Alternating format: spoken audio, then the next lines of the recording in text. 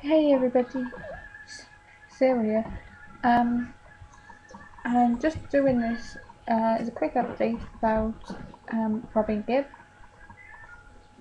I previously made a video on the 17th of April, um, you know, about the news about him being in a coma and all that.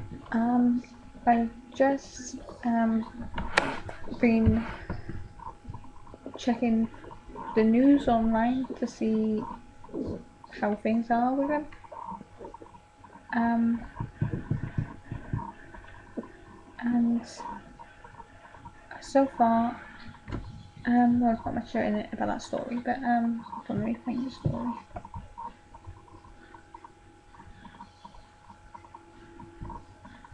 Um, there's a few articles, um, like this one. Uh, singer, a former Bee Gee Robin Gibb has astounded the medical and entertainment world as he shows signs of shrugging off his recent coma. The star slipped into a coma last week following a bout of pneumonia, having recently battled cancer. Since then, he has been nodding his head and communicating with loved ones after they played him music during all-night bedside um, vigils.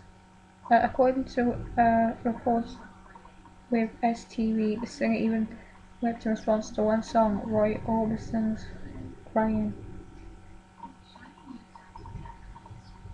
Um, it doesn't say much on there about it, but it was Barry, I think, that was singing that song. Um, so by the sounds of this, he's awake, out the coma, um, responding to questions, nodding his head at least. Um, yeah, so hopefully things are getting better now. Um, but keep praying for him, please keep praying for him.